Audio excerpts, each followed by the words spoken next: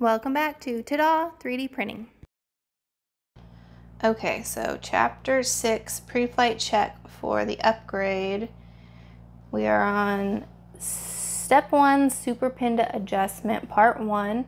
Uh, we wanna make sure printer is turned off, not plugged in. While moving the extruder, the x-axis motor works as a generator. You'll create a small amount of electricity. LCD will flicker. Move it slowly. Move the extruder manually all the way to the left. By rotating both threads at the same time on the z-axis, move the nozzle until you reach the heat bed. Okay, so we're gonna try to get this to touch the heat bed. And we have no build plate on it, and that's what they are recommending.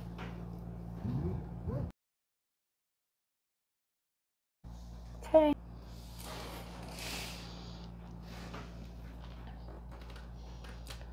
Okay, you can see that the nozzle is touching. Check again from another angle. Yeah, I mean, it's good. Don't place the steel sheet wait for the calibration. Move the extruder carefully all the way to the right. Are you kidding me? Okay. Pinda kind of catches. Make sure the nozzle is not scratching. Oh, well, I guess I could have been careful about that because I think I did scratch. Um, can lower or raise. Yeah, I mean, I'm still.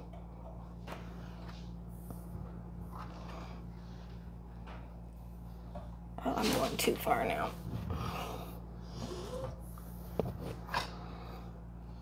Mm-hmm. Yeah, I mean, I'm good.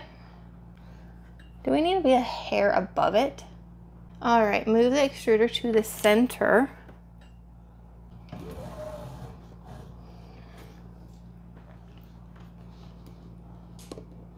Take a zip tie and place it under the Super Pinda sensor.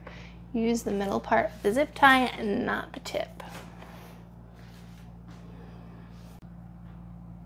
Okay, so we're gonna put the zip tie underneath, yeah. Okay. So I need to loosen the screw.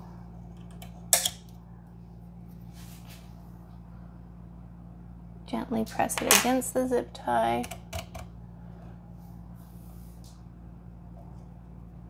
Uh-huh. Tighten the screw.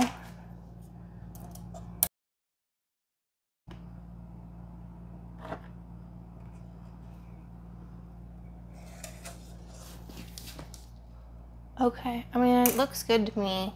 That's what I got. Step four, download the necessary software. So I updated the Prusa slicer and flashed the printer with the newest firmware as well. And I kind of realized I haven't done this in a while and it seems a little bit outdated compared to the USB flashing on the XL and the Mark IV, but I got it done. I've got it turned on and I'm ready to load the filament. I already have it heated up.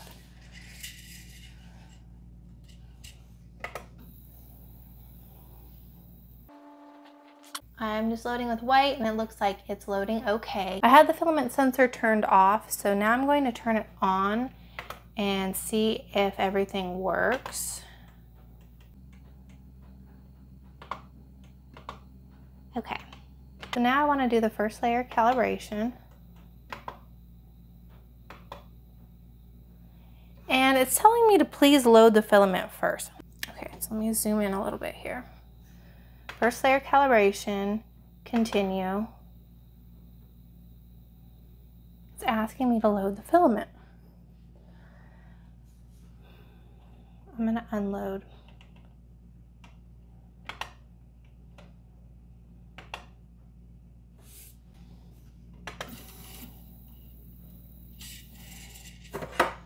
Okay.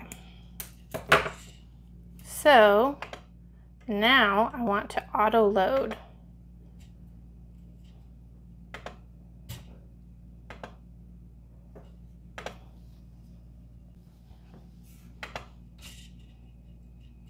and make sure it's sharp enough. It's just like not catching at all.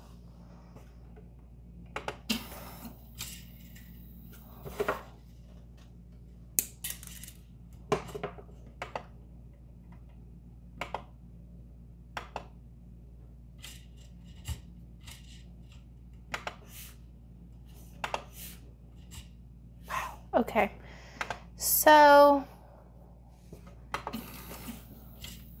it will load if I have the filament sensor turned off. So if I go back to filament sensor, yeah, off, turn that on.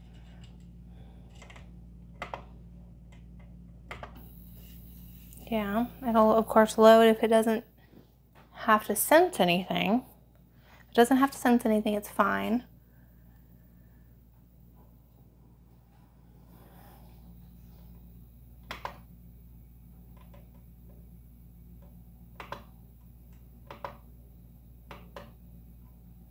So if I want to load the filament, right now I have the filament sensor off. It won't even let me do a first layer calibration. I'm loaded and it won't, yes or no won't work. So I feel like the filament sensor has some issues. Um, I had it turned off previously and I don't really remember why I turned it off, which probably means that it was not a great filament sensor anyways.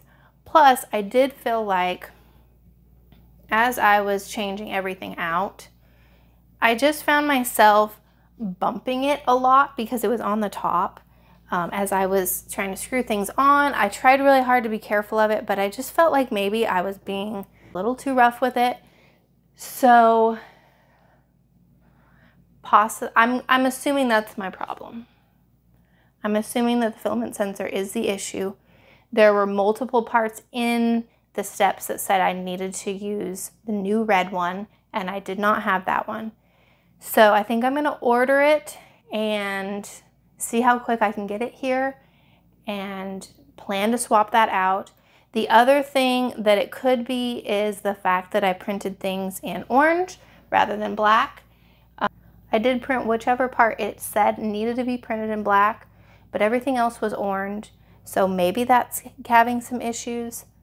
Um, but I'm going to try the, the sensor first because I can print with this. It will let me start a print and I'll have to adjust my, my calibration by just doing a Z setting, but it will start printing. Let's see.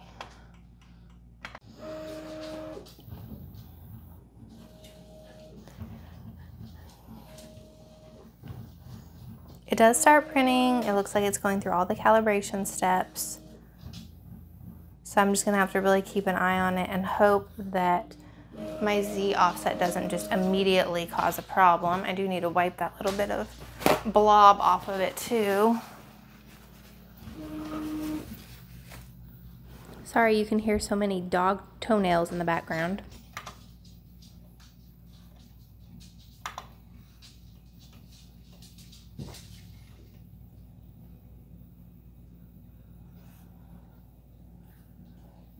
So it will print and I'll have to adjust things on the Z.